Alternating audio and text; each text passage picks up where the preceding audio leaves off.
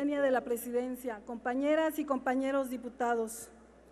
Nuestro país es uno de los llamados megadiversos, es decir, se, se caracteriza por tener una riqueza y diversidad de flora y fauna que lo hace especial en todo el mundo.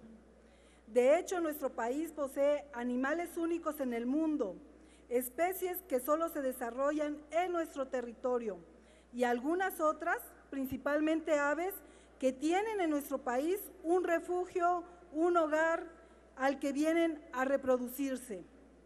Esta biodiversidad se ve reflejada a su vez en una riqueza cultural, en la posibilidad de conocimiento científico, médico y de sustentabilidad que es necesario proteger y gestionar de manera racional y comunitaria. Pero hoy pesa sobre nuestra flora y fauna una amenaza constante y creciente. Cada vez más las presiones de la industria, de la explotación irracional de recursos naturales y la rapiña asociada a bandas de explotación forestal y de tráfico de animales han puesto sobre nuestra riqueza biológica la amenaza de la extinción. Hoy sabemos que animales característicos como el puma americano, el oso gris mexicano y el cóndor norteño han sido declarados formalmente extintos y pesa sobre la vaquita marina, el lobo mexicano, la guacamaya roja, el jaguar, el manatí, entre otras la amenaza de extinción.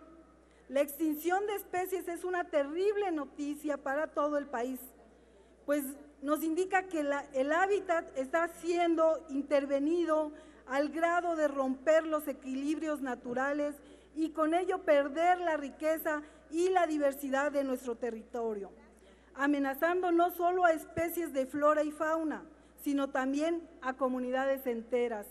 En este sentido, la crianza y explotación comercial de animales y especies es la manera que hoy tenemos de, de lograr el equilibrio entre la demanda de animales y especies comerciales y la protección de la flora y fauna silvestre. Por ello, el registro se convierte en la herramienta principal del conocimiento y control. Y es por esto también que el dictamen que hoy nos presenta la Comisión de Medio Ambiente, Sustentabilidad, Cambio Climático y Recursos Naturales nos parece oportuno y atendible.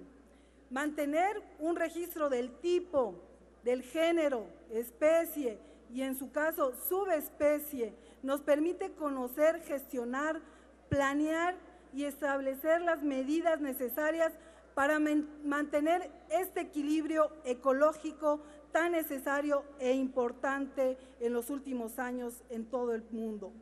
Y la sana convivencia, por supuesto, con las comunidades con su entorno inmediato. En el grupo parlamentario del Partido del Trabajo tenemos la clara importancia de la biodiversidad de nuestro país de la necesidad de cuidar nuestro hábitat, nuestro medio ambiente y de cohabitar en armonía con la naturaleza que nos da la riqueza material y cultural que hace de México uno de los mejores países del mundo. Por lo anterior, y como integrante de esta comisión y a nombre del Grupo Parlamentario del Partido del Trabajo, apoyamos el dictamen presentado. Es cuanto, diputado presidente.